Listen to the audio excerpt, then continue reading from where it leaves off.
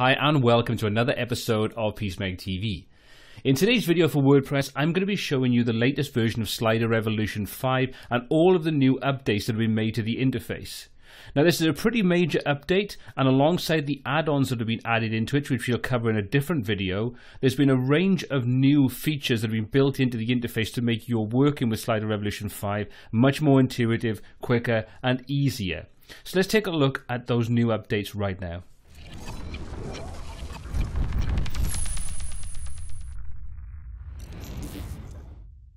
So, as someone that spends a lot of time every single day when building websites, dealing with creating sliders, anything that ThemePunch can do to make my daily grind that little bit easier is welcomed. And with this new iteration of Slider Revolution 5, they've really added some great new features to it. So what we're going to do with this video is I'm going to give you an overview of some of those features. I'll demonstrate some different things and just talk through and just show you what has been added to this great piece of software. So as you can see, I'm looking at a slider at the moment, and I've got three slides on there, and anyone that uses this on a regular basis would realize that we now have a new button, and that's the object library. Now we used to have in the media library, where we can go in and we can choose the files we want to work with in our slider for the background and so on. But we now have this object library. So you can see if I click on that, that will open up a new window and you can see I've got a range of different photographs that I can work with. Now at the moment we can categorize those down based upon beach, city, nature, night and so on. And I'm sure this is something that will expand as they bring out newer versions of Slider Revolution. You can also check out the license information to make sure that any image you use in your slider, you have the right licensing for. Just make sure you keep on the right side of the copyright. So I recommend checking that before you use any of these images. But you can see we can easily filter these down to any of the particular groupings that they have in there. And as we mouse over, you can see we now get some little symbols for the different sizes that we have available. So you've got medium, large, and O for whatever that stands for. And underneath it tells us what the actual physical dimensions of that image is. We can search for objects if we want to, so we could say we wanted a road, for example, and you can see that will now filter it down to show us all the ones that fit that particular category. So we can just get rid of that. And let's just say that I want to choose one of these. And I'm going to use this in multiple different slides. So what I can do is I can come to the top right hand corner and I can click on the little star. And that will now make that a favorite. So you can see I can add that one in there as a star. And I go back and I click on favorites. And anything that's been starred will now show up in my favorites section which is quite a good way of making sure that you can just speed up the process of finding images that you want to use on a regular basis. So that's that's the first thing that's pretty cool. So let's just choose one of these images. Let's go for the O to give us the 1920. And that will then change the background to that image that I've just created. So let's just get rid of this layer a second. So we've got a good bank of images, and like I say, I'm sure this will expand as it grows and new iterations come out of Slider Revolution. But it's a great starting point if you don't have the time or you're just prototyping a website for someone and you just want to drop some images into Slider Revolution, then this is a great way of doing that to get started. So that's the first thing that's been added in there. Now let's take a look at some of the other things that have been added in when we're working with images. So next up, let's move down to the actual slide itself, where we can start working with editing it. You'll see that we have the object library icon again. Now what this is going to do is it's going to open up the same kind of browser, but it's going to give us a lot more options. You can see we're looking at the favorites, but you also notice we now have some icons and we have some graphics and some different things in there. And we've also got a lot more categories we can filter this information through, including at the top SVG, icons, PNG files, and JPEG files. So let's just say, for example, we want to go to PNG.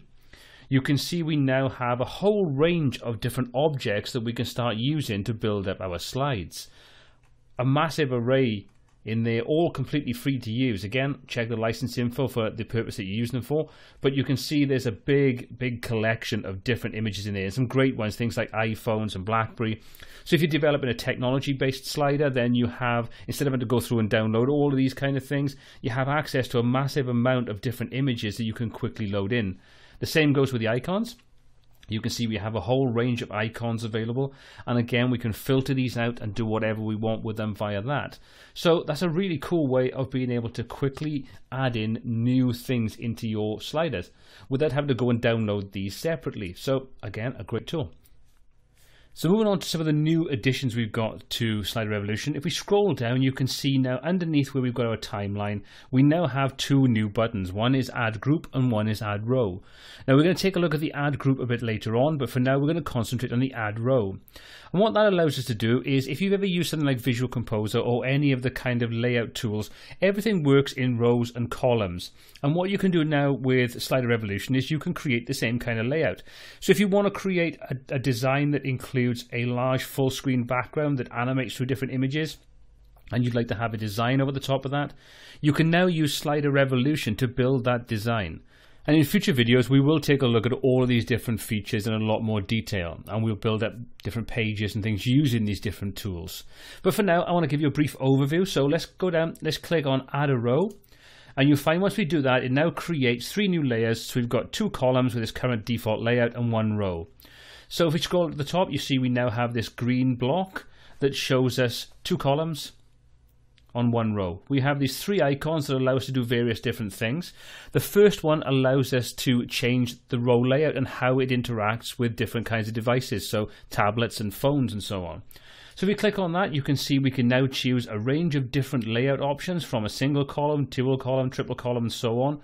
So we can choose anything we want from this. So for this example, let's just choose the triple column.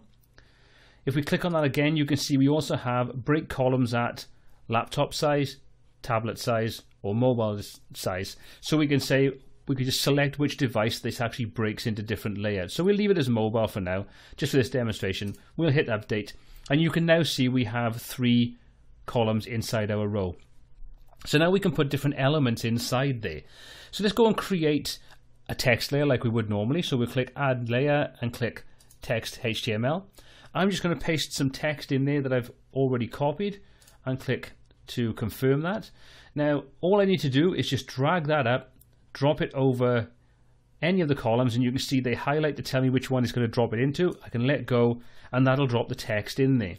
And now we can style this and we can style the actual columns and the rows themselves to make sure that everything lays out exactly how we like it to. So let's go and duplicate this two more times, create the additional two columns, and then let's start styling this information to lay out the way we want. So before we do copy it, let's just set the text to the way that we want it to look. So we're going to click on that to make sure that's active. We'll change the font. Now this operates in exactly the same way as you would when you're working with Slider Revolution in its normal fashion. So nothing here is different. It's only when we start to go on and do some of the other things. So let's just set this down to a 14 and we'll set the lines to be about Actually, the line looks tidy on there. Color, we can change that if we want to. We can change the font weight and so on. What's important to note at this point is when you create a block of text like this, when you get selected, make sure you set the width to be auto. You can see we have a range of options and you may find you've got a numeric value in there if you've adjusted anything yourself. Set it to auto and it will automatically wrap the text around in the way you expect it. So we'll see it the way it is on here at the moment. So just something to be aware of. So we set that up, the basics of it. So what I'm going to do now is click on there and I'm just going to duplicate that so you can see I can come up and duplicate it. So we'll clone it twice, drag it over to the next, drag it over to the third one. So nothing that you haven't already done if you've ever used anything like Elementor or Visual Composer. But now we can go in and control various different aspects of these columns and these rows. So if I click on the column of text, you can see we've got all the normal options available to us. And if I come over and just expand this out, we can now do a few other things. So let's just say we wanted to set a background color on there. So we set the background and we'll set that to be, we'll go for, I'll go for black. We'll set the transparency on there to about 0.8 so we end up being able to see the image underneath it. So we set that up. So you can see that now allows some transparency through there. What we can do then is we can come over, we can choose any of the other options. So if we want to, we can add some padding in there. We can also add margins to it. So remember, we're only dealing with this text box inside the confines of this particular block inside our row. So let's click on that. Let's just set the padding on there to 20 on each one of those. So you can see we now have some nice space around there. If we want to, we can add some margins around this as well. So let's just go and do the same on there. So we'll set that to 20. And you'll see why I'm doing this in a moment. So now we've separated that from the outside edge of the box. So we now have a nice, neat layout. Text is styled the way we want it to. We've got a transparent background and we've got some space around the row and the column. Now, if I wanted to, I could duplicate that and just take over these. But what I'm going to do quickly is I'm just going to go and set these up so all three look exactly the same. I'll pause the video and be back in a second. Okay, so there's our three columns all set up nice and neat, everything laid out the way we expect it to look, which is cool. So the next thing we can do is we can actually control the way the actual columns work or the row works. So if we come down to this little teardrop icon, click on that, we're now going to make edits to the actual row itself. So we're no longer editing the text or HTML blocks or whatever you place inside these rows and columns. We're editing the row and the column independently. So you can see if we want to, we can come to the background, for example, and we'll set this one, we'll set this to white. We'll do the same again, we'll set this down to 0.6, so it's even more transparent. So we're getting a sort of transparent effect on top of a transparent effect, so we now have a nice, a nice layout. If we want to, we can just select these and we can align them so we can make sure that everything is aligned the way we want. So now we align that to the center, so that's in the center of our, our slider. So you know, we have a whole range of control we can do with this. We can do any of these options and now apply to the row and the column. So we could, if we wanted to, we could add padding in there, we could add margins in there, and that's now going to affect that as opposed to being affecting what's inside each of those blocks. You can also come into advanced CSS and you can add extra things in there if you want to build these up and put buttons and so on.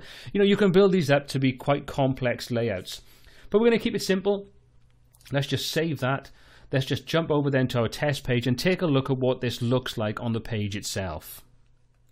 So as you can see, it looks pretty good. We've got all the, the elements laid out the way we expect it to. If I refresh the page, we'll see how the animation takes effect. So let's just refresh. And there you go. You can see that that builds up the animation. So we can easily build up a layout that we want, quite complex layouts, quite easy by using these rows and columns. So that's a great addition. Now there's a lot more things you can do to this. And like I say, in a future video, we will come in and take a look at this in a lot more detail. But for now, that's how we work with this new columns and rows feature where we can build things up in building blocks. Pretty cool. Now quickly before I wrap this up and move on to the next option, I want to just quickly go through and show you that you can rename any of these items. So as you build up more complex layouts, it can get quite difficult to keep track of everything. So you see if we expand the top, everything is set up. We've got columns and inside there we've got the different blocks that we've got. So this, for example, is the first block there. We can just click in there, select all of the text by Control Command A, and we can change this to something else. So we could call this block 1, for example. And you can see we also have the option to rename it. We can just move things and delete things and clone things and so on. So we can very quickly organize our information very easily just by using this way of going through and renaming everything. So it's something to bear in mind when you are creating complex layouts. Keep your life easy by going in and naming things and giving them some kind of relevancy to what you're doing. Anyway, let's move on. So next up, let's take a look at how we can group objects together with the new add group function. So if we take a look, I've got two objects, two SVG objects or shapes that are on screen. I've set them up where I want, but obviously if I want to move these around, they are independent of each other. So it means that I've got to make sure that everything is aligned every time I move them, which can be a little bit of a pain. But with the new add group option, if I just click to add a group, and we'll just name this, go to test group, that'll do for me. You can see that what we have is this box and you can see I can move the box around and it doesn't do anything other than move around. So what I can do is if I drag any of these items into that box area, they become grouped. So if I drag this over, you see that it starts to highlight when I go over it. I can drop it in there and that now becomes indented. You can see we're now working with the group itself. So the entire background gets uh, darker because it tells us we're working inside a group. So once I click outside that, the image goes back to the way it was. We now have our group. So I can do the same thing again with the second icon. I can just drag that over, drop it in there when it highlights, and you can see that now becomes grouped. If I want to, I can resize this box to get it to make a little bit more sense. So let's just do that. Position the icons in relation to each other inside the grouping. Resize the grouping box if I need to. And now I can drag that box around and the relationship between the two icons is kept in place because we're not moving the independent icons, we're moving the group. And also, if we come down and take a look at our timeline below, you can see now that SVG, or the two icons that we have, which we could rename to make a little bit more logical sense, are now indented inside our test group grouping. So that tells us that we have a group available to us. We can still go through and we can edit the timeline and we can adjust the way that things animate in and animate out and all those kind of good things. But the reality is, this just means that you can synchronize everything together into a nice layout and then you can just drag it around in position wherever you want to make your life that much easier to keep the relationship between the items inside that group. So that's how we can group objects together. The other powerful thing about when you're working with groups is that you're not limited to only working with the objects inside that group. You'll see at the moment we have the group selected by the background going darker and this being outlined to tell us that that's what's currently selected. If we come to the top, you can see we still have things like the background and so on that we can still edit. So if we wanted to, we could create a background color in there. So we could set this to be a background color and set a transparency level on it. So we'll set that to 0.8. So we now have a background effect on this. We click outside that, you can now see that that takes on the characteristics that we've just set up on it. So we're not limited to just the objects inside it. We can actually style and control the actual grouping itself, which again is pretty cool. So you can use that, group everything together, get everything nice and aligned, and then we can just use the alignment icons. We're now perfectly in the center with a colored background. If we want to, we can come in there, we can apply paddings and borders and margins and things to this. So it really is a very powerful and versatile way of working. Also, if we come down to the section where we can go and choose our different layers to work on, we expand that out, you can see everything is laid out in there. So if I want to quickly come in and rename this, I can come in and I can just specify a name that I want, or I can change the icon. I've got a whole range of great things that I can do. And again, this is just one of those awesome little features that's been added in there to make you working with complicated projects so much quicker and easier. So that's pretty cool. So there's one more thing I want to show you before I wrap this video up, and that is on the timeline itself. Now, if you ever used Slider Revolution to create your timing, you know yourself that the adjustment of the duration that it takes to do for the fades and so on can be a little bit awkward. Well, They've updated the way that the timeline actually operates now, and it's just made it so much easier. You can see we've got thicker lines. We've got rid of the little sort of dot at the beginning and the end to show the duration of the transition.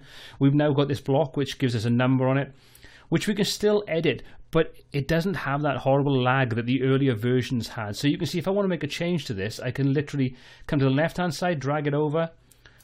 If I want, if I drag that over to the left-hand side, you can see it automatically just stretches the duration of the transition. So obviously I can still come to the right hand side of that and I can adjust that, but the latency that you had there is gone. It really is quite a nice, quick and really intuitive way of working. So we can now reposition things. You can see I can reposition that to control the time that these different things come in. And the same goes with the actual grouping itself. I can control that. So you can see very quick and very easy way of working with things. So it's just one of those little enhancements that just makes the working with this particular function in Slider Revolution just that little bit more like working in a dedicated application as opposed to working in your browser. Now, like I say, all of the things that I've touched upon in this video, I will be going into a lot more detail in their own dedicated videos where I'll show you how to create great looking sliders using these different building blocks we've covered today. Well, I hope you found this video useful. Hope it's given you a reason to go away, download the latest version of Slider Revolution, whether you've got it as part of your theme or you're looking to buy it. If you are looking to buy it, please use the, the link in the description below, which is an affiliate link, and it gives us a little bit of money back to help putting more into doing our video tutorials. Anyway, if you did enjoy the video, please give it a thumbs up and hit that subscribe button to be kept up to date with all of the new content we add every single week. Any comments, questions, or feedback on this video, please pop those in the comment section. And until next time, take care.